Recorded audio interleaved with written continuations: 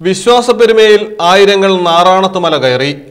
പന്തിരികുല പുരാവൃത്തത്തിലെ പ്രധാനിയായ നാറാണത്ത് ഭ്രാന്തന്റെ മുന്നിൽ തുലാമാസം ഒന്നാം തീയതി രായിരനെല്ലൂർ മലമുകളിൽ വെച്ച് ദേവി പ്രത്യക്ഷപ്പെട്ടുവെന്നുള്ള ഐതിഹ്യത്തിലാണ് വിശ്വാസികൾ എല്ലാ തുലാമൊന്നിനും രായിരനെല്ലൂർ മല കയറുന്നത്. പട്ടാമ്പി വളാഞ്ചേരി റൂട്ടിൽ നടുവട്ടത്താണ് രായിരനെല്ലൂർ മല സ്ഥിതി ചെയ്യുന്നത്. കാട്ടുപാതയിലൂടെ അഞ്ഞൂറ് മീറ്റർ ഉയരമുള്ള മല കയറി എത്തുന്നത് നാറാണത്ത് ഭ്രാന്തന്റെ ശില്പത്തിനു മുന്നിലാണ്. ഭ്രാന്തന്റെ പ്രതിമ വണങ്ങി കാണിക്കർപ്പിച്ചാണ് മലമുകളിലെ ക്ഷേത്ര ദർശനം നടത്തി വിശ്വാസികൾ മലയിറങ്ങുക. പാലക്കാട് തൃശൂർ മലപ്പുറം ജില്ലകളിൽ നിന്നും സ്ത്രീകളും കുട്ടികളുമടക്കം നിരവധി പേരാണ് മലകയറ്റത്തിന് എത്തിയത്.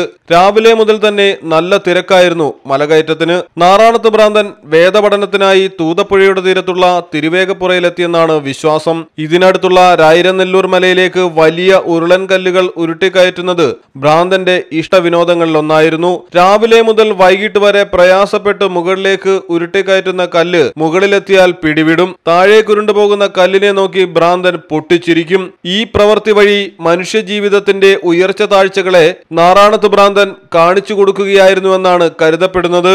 കല്ലുരുട്ടിക്കൊണ്ടിരിക്കുമ്പോൾ ഒരു തുലാമൊന്നിന് മലമുകളിൽ നാറാണത്ത് ഭ്രാന്തന് ദേവീദർശനം ലഭിച്ചെന്നാണ് വിശ്വാസം. ഭ്രാന്തന് ദേവീ ദർശനം നൽകിയ ശേഷം ദേവി ഭൂമിയിലേക്ക് താന്നുപോയി.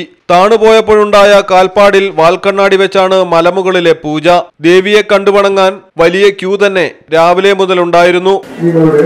നാരായണത്ത് പ്രാന്തന് ദേവി ദർശനം കൊടുത്ത ദിവസമാണ് തുലാമാസം ഒന്നാം തീയതി. നാരായണത്ത് പ്രാന്തൻ കല്ലുരുട്ടി അദ്ദേഹത്തിന്റെ ഒരു വിനോദമായിട്ടുള്ള കല്ലുരുട്ടൽ അദ്ദേഹം നടത്തിക്കൊണ്ടിരിക്കുമ്പോൾ ദേവി ദർശനം കൊടുത്ത ദിവസമാണ് ആ ദിവസത്തിന്റെ ഒരു പ്രാധാന്യം ആണ് ഇവിടെ രായരനെല്ലൂർ മലയിൽ രായരനെല്ലൂർ മലയിൽ പൂജ കഴിക്കുന്ന ഇപ്പോൾ ഒരു ട്രസ്റ്റ് ഉണ്ടാക്കിയിട്ടുണ്ട്. ശ്രീ ദ്വാദശാക്ഷരി ട്രസ്റ്റ്. നാരായണത്തുറാന്തൻ ശ്രീ ദ്വാദശാക്ഷി ട്രസ്റ്റ് എന്ന പേരിലുള്ള ട്രസ്റ്റ് ഉണ്ട്. ആ ട്രസ്റ്റാണ് പൂജ നടത്തുന്നത്. അദ്ദേഹത്തിന്റെ അദ്ദേഹത്തിനെ എടുത്തു വളർത്തിയിട്ടുള്ള ഇല്ലക്കാരെയാണ് അദ്ദേഹം പൂജയ്ക്ക് ഏൽപ്പിച്ചിട്ടുള്ളത്. എടുത്തു വളർത്തിയത് ചെത്തല്ലൂർ നാരായണമംഗലത്ത് എന്ന് പറഞ്ഞ ഇല്ലുണ്ട്. അവിടുത്തെ ആൾക്കാരാണ് അദ്ദേഹത്തിനെ എടുത്തു വളർത്തിയത്.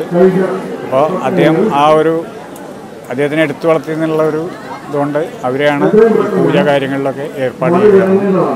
ആ പരമ്പര തുടർന്നു വരികയാണ് ഞങ്ങൾ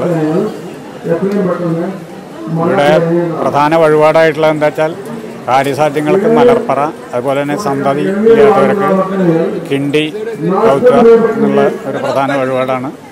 ഒരുപാട് അനുഭവം ഉള്ള ആൾക്കാർ വീണ്ടും വീണ്ടും വന്നുകൊണ്ടിരിക്കുന്നത്. നാറാണത്ത് ഭ്രാന്തന്റെ സ്മരണയിൽ മലമുകളിൽ കൂറ്റൻ പ്രതിമയും കല്ലും ഉണ്ടാക്കിയിട്ടുണ്ട്. മലമുകളിലെത്തുന്ന ഭക്തർ പ്രതിമയെ വലം വെച്ചാണ് ദർശനം പൂർത്തിയാക്കിയത്. ഭക്തരെ നിയന്ത്രിക്കാൻ വൻ പോലീസ് സംഘവും സ്ഥലത്തുണ്ടായിരുന്നു. News bureau Valanchery.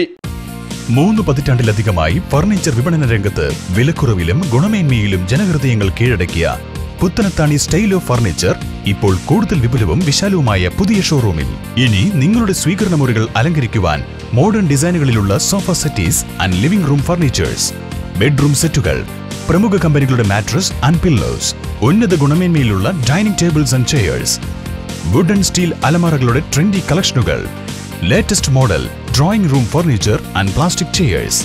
കൂടാതെ എല്ലാവിധ ഇന്റീരിയർ വർക്കുകളും ചെയ്തു കൊടുക്കുന്നു. വീടിന് പുതിയ മുഖം നൽകാൻ കൊതിക്കുന്നവർക്ക് വിലയുടെയും ഡിസൈനിന്റെയും കാര്യത്തിൽ തികച്ചും അനുയോജ്യമായ ഇടം style of furniture Valanchery road Puthanathani.